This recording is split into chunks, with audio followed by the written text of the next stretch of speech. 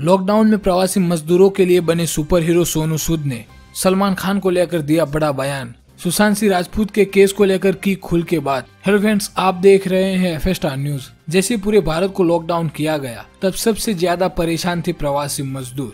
और मुंबई शहर में बहुत ही प्रवासी मजदूर रहते हैं। उन सबको घर जाना था। तब एक इंसान उन सब का मसीहा बनकर आया, और वो थे सोनू सूद। सोनू सूद ने न जाने हज़ारों प्रवासी मजदूरों को उनके घर पहुँचाया। और उनके ये काम से हर कोई खुश हो गया और सबके चहेते बन गए। जब हाल ही में एक इंटरव्यू में सोनू सूद को पूछा गया सुशांत सिंह राजपूत के केस के मामले में और सलमान खान को लेकर जो फेक न्यूज़ फैलाई जा रही है तो सोनू सूद ने बहुत ही बढ़िया आंसर दिया था। सोनू सूद ने कहा था कि जब कोई इंडस्ट्री से दुनिया छोड़ता है तो हर किसी को बहुत ही दुख होता है। पर इंडस्ट्री में किसी पर सुशांत के मौत का इल्ज़ाम नहीं लगा सकते। हम सबको थोड़ा समय देना चाहिए। सच्चाई क्या है, वो सब सामने आएगी। और फिर उन्होंने आगे कहा कि सलमान खान ने बॉलीवुड में न जाने कितने लोगों की लाइफ बनाई है और उन्होंने बहुत ही लोगों की मदद की है। इसलिए सबसे पहले उनकी इज़्ज़त करनी चाहिए और किसी पर इल्ज़ाम मत लगाओ और फेक न्यूज़ पर बिलीव मत करो। क्योंकि हम पिछले कुछ दिनों से देख रहे हैं, सलमान खान को फेक न्यूज़ के द्वारा जानबूझकर सुशांत सिंह राजपूत के केस में धकेला जा रहा है।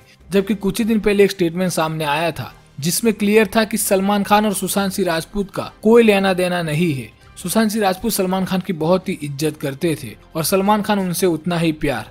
ये दोनों के बीच ना तो कभी कोई लड़ाई हुई है और ना ही कुछ ऐसा कि जिससे सुशांत सिंह राजपूत को दुख हो। फिर भी लोग जानबूझकर फेक न्यूज़ को इतना चला रहे हैं और सलमान खान की इमेज को डुबाने की कोशिश कर रहे हैं, जबकि ये सारी गलत खबरें हैं और सोनू सूद ने भी सलमान खान को सपोर्ट किया है। उन्होंने कहा कि उन्होंने बॉलीवुड में कई लोगों की मदद की है और उनकी रिस्पेक्ट करनी चाहिए। फेक न्यूज़ पर बिलीव मत करो। और वैसे भी सोनू सूद पर्सनली सलमान खान को अच्छी तरह से जानते हैं।